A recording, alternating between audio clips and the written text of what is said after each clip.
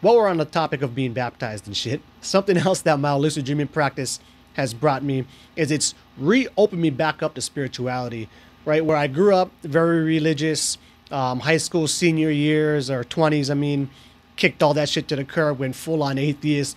But it was actually through the experiences that I had in my dreaming practice that kind of reopened that door up to being possible, right? There's just, there's so many ineffable, crazy experiences to be had within the dream space that it just really highlights how science doesn't have all the answers, right? Now, I am still very Western science minded and how I see the world, right? Science provides the backbone to how I see reality, how I see the world, and everything.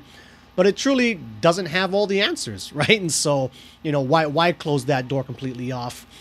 And like I've said many times before, you know, whether it's whether we're really able to go ahead and come face to face with some all powerful astral being that's separate from us, or whether it's just, you know, your subconscious mind serving you up a really trippy experience.